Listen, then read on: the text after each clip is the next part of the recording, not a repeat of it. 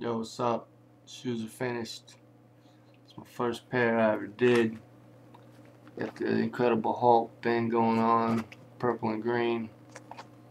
Kind of looks not purple on the camera, but they're purple. But um, it's a good another look at them. But uh, just let me know what you think.